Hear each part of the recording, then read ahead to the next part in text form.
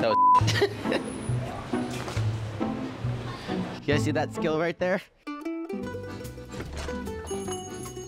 Buongiorno la. Since we're in Singapore, so we say la for everything. Today I'm gonna show you how I like to cook pizza after training. I train all day, I fast 24 hours, and then after training, I make a pizza every night. Hmm, so good. I'm gonna show you my favorite way to do that.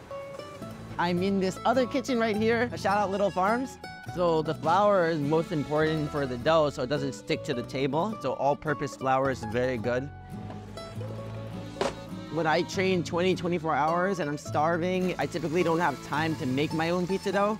So I think it's easier to just go to a local supermarket and I can add a little more flour to the dough. So now, as you see, I can flip both sides and it doesn't stick.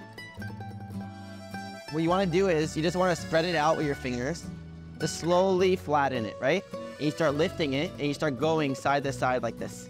I'm gonna go to the middle of it with my knuckles. And then I'm gonna start putting pressure here. And then I'm gonna go side to side, knuckles, here, side to side. As a kid, I loved playing with Play-Doh. And this is basically adult Play-Doh. And as I'm doing the knuckles, sometimes I take the knuckles and I spread the dough just a little bit. So I go knuckles, spread, knuckles, spread. One eternity later. So a lot of people ask, is my diet sustainable?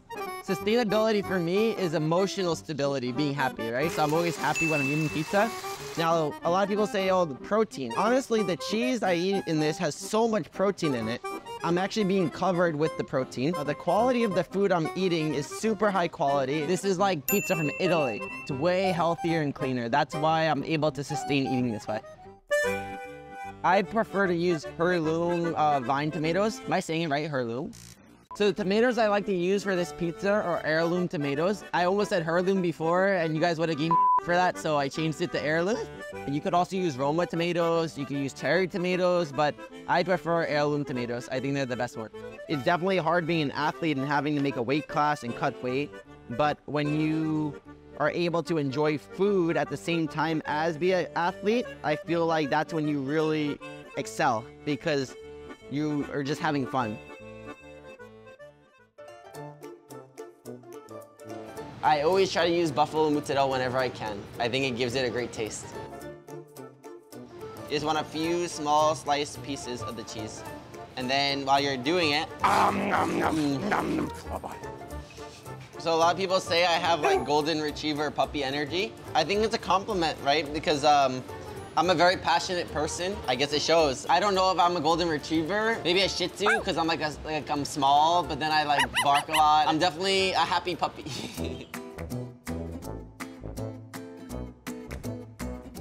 you do a shake test to make sure it moves. Look, you see how it moves? That means that it'll move when you put it on the tray, so that's very important. So before putting the toppings, I like to sprinkle a little olive oil, cheese, tomato.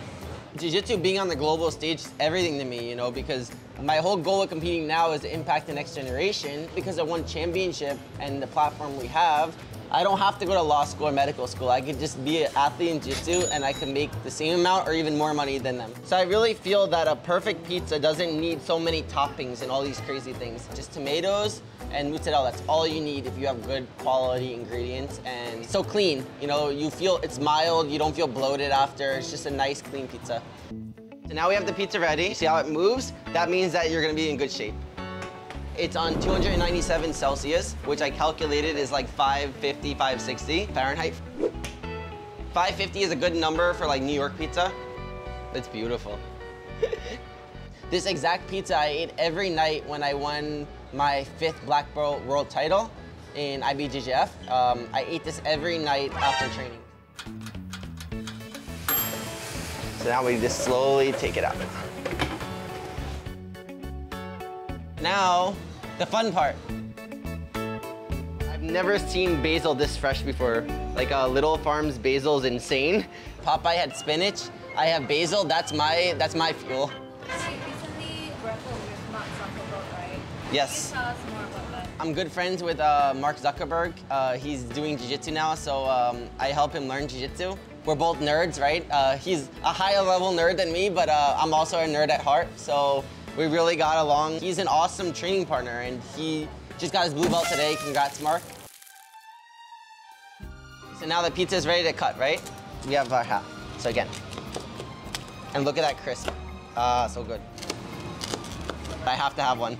Here's Chef Raymond from Little Farms. Thank you, sir, for letting us use your kitchen. Cheers. Mmm. Yummy. Have you ever thought to open a restaurant? I don't know, one day. Wow. It's just so good. it really is really good. I had to stop my 24-hour fast and eat this. It's this pizza's fault. Thank you guys so much for watching. I hope you guys enjoyed cooking pizza with me. Shout out to Little Farms. When I have a kitchen in Singapore, because I live here now, I'm going to get all my stuff from here for sure. Please tune into my fight against Jarred Brooks on One Fight Night 13 on Prime Video. I'm gonna be bringing the pizza pasta power. Let's do it.